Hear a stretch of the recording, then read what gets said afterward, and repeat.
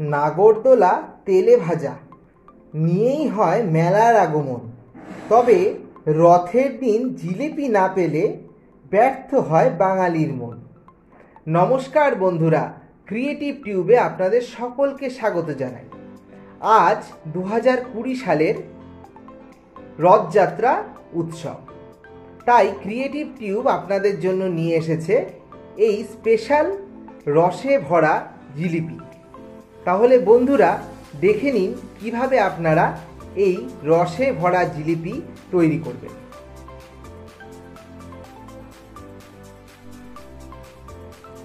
জিলিপি তৈরি করার জন্য আমরা এখানে নিয়েছি এক কাপ ময়দা, এক টেবিল স্পুন চালের গুঁড়ো, বেসন এবং টক দই। চালের গুঁড়ো না থাকলে তার পরিবর্তে তোমরা কর্নফ্লাওয়ার নিতে পারো। এছাড়া নিয়েছি এক টেবিল স্পুন সাদা তেল। সাদা তেলের বদলে তোমরা ঘি নিতে পারো। Half teaspoon baking soda. তিনটে এলাচ আমি গুঁড়ো করে নিয়েছি। শিরা তৈরি করার জন্য আমি এখানে এক কাপ চিনি নিয়েছি। এর সাথে নিয়েছি ইয়েলো ফুড কালার। তাহলে চলো দেরি না করে আজকে রেসিপিতে চলে যাই।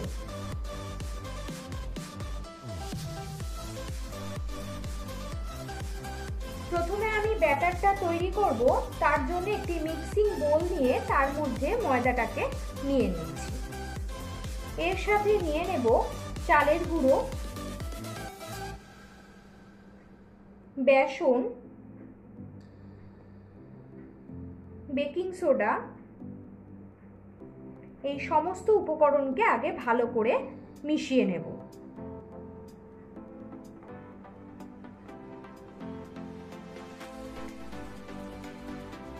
এরপর এর মধ্যে অ্যাড করছি সাদা তেল।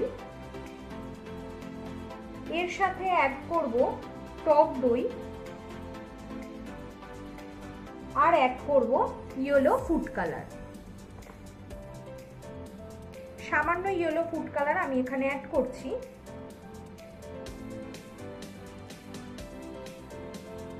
দিয়ে ভালো করে ময়দাটাকে মেখে নেব।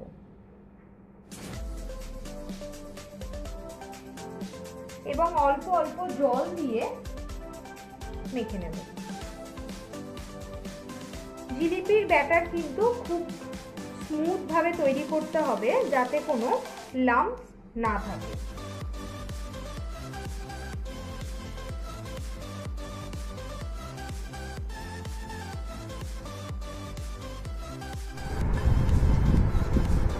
ব্যাটারটা একদম তৈরি হয়ে গেছে।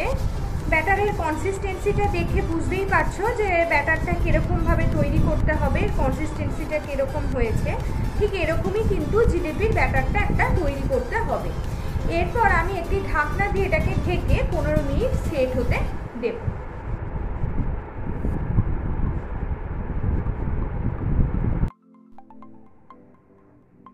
ব্যাটারটা সেট হওয়ার মাঝখানে আমরা শিরাটা তৈরি করে নেব। আমি এখানে একটি পাত্র বসিয়ে তার মধ্যে এক কাপ চিনি দিয়ে দিলাম।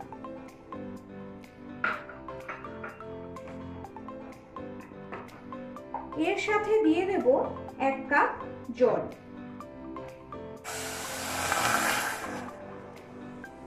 চিনিটাকে ভালো করে গুলিয়ে নেব। চিনিটা না গোলা পর্যন্ত আমাদের অপেক্ষা করতে হবে।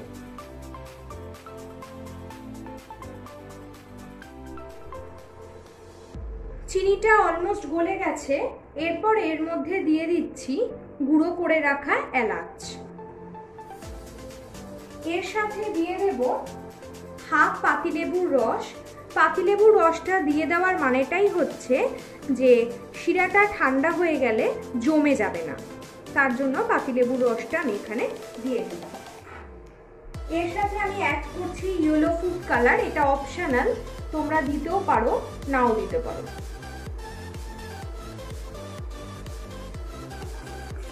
ভালো করে মিশিয়ে নিলাম। এবার শিরাটাকে আমি ফুটিয়ে নেব। শিরাটাকে কিন্তু একতারে শিরা তৈরি করতে হবে।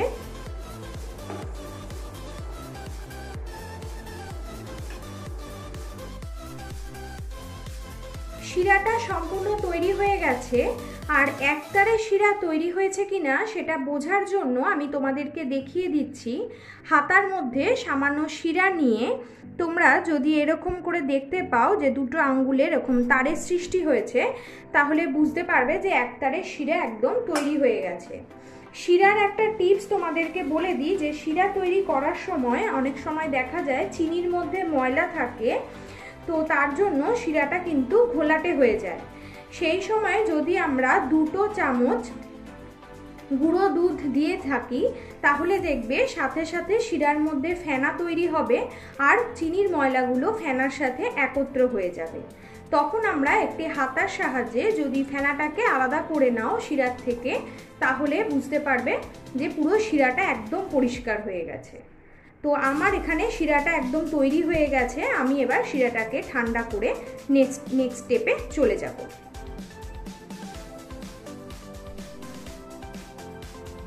পনেরো মিনিট পর ফিরে আসলাম।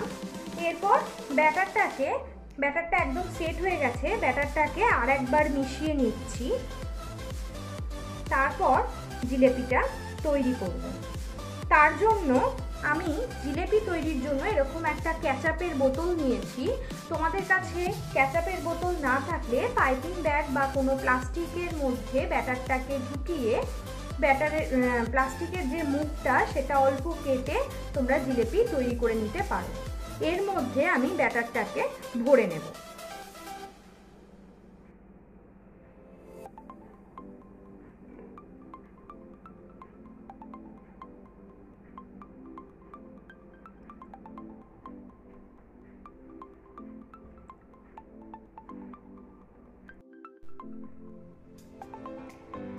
জিলিপিগুলো ভাজার জন্য আমি প্যানে সাদা তেল নিয়েছি। তেলটা কিন্তু অনেকটা পরিমাণে নিতে হবে। এরপর আমি একে একে জিলিপিগুলোকে ভেজে নেব।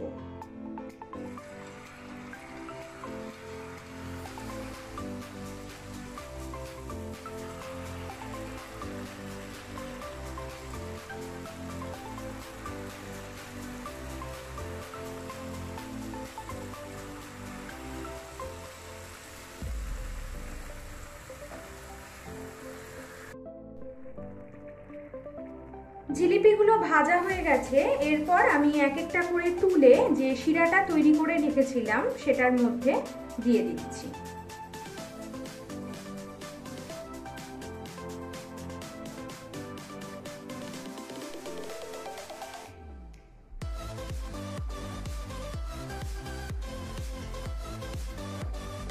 সামান্য একটু রসে ভিজে গেলেই জিলিপিগুলোকে তুলে নেব একটি পাত্রে।